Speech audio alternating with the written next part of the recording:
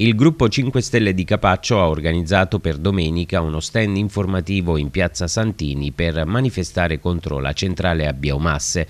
Tra i partecipanti il consigliere regionale del Movimento 5 Stelle Michele Cammarano. Abbiamo continuato a spiegare ai cittadini quali conseguenze nefaste porterà la centrale, afferma Cammarano.